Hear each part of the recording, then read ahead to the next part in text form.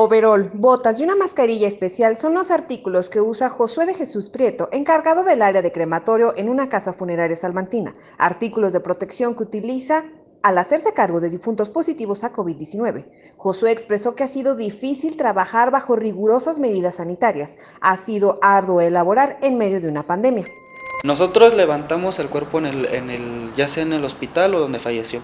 Lo levantamos, lo sanitizamos, le ponemos otra bolsa, se sanitiza la bolsa, sanitizamos lo que es la unidad, la carroza, lo llevamos directamente al horno, sin escalas. ¿Ha sido difícil, Josué? Difícil y cansado, porque hay veces que 2, 3 de la mañana, vente, ya falleció un COVID.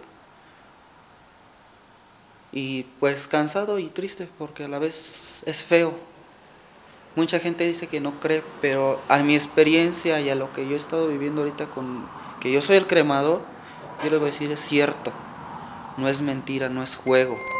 La compra de los servicios funerarios han aumentado un 30%, sobre todo en la cremación, un incremento que se dio en plena cuarentena de la pandemia del COVID-19. Ponte un traje, ya ponte el otro, vete por el cuerpo, lánzate. Y, o sea, ni poderte despedir, nada, y lánzate. O sea, no, se esperaba eso.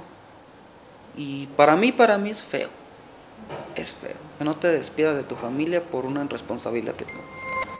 Josué, como trabajador en una funeraria ubicada en la calle Cazadora, señaló que hay un temor grande, miedo a la saturación en las funerarias y hornos crematorios ante la situación actual. Ahorita lo que le estamos temiendo es por la saturación que se venga, que esperemos y no en ese aspecto que todo Salud que nos, sí nos apoye más a nosotros. Porque era así, ha habido compañeros que han nacido hasta agredidos. Hay que destacar que del 15 al 19 de junio, Salamanca rompió récord histórico de contagios, con 99 registrados, y se ubica en el cuarto lugar de los municipios con más casos, al sumar más de 300. Con imágenes de Josué García, Erendira González, reportera, Mega Noticias.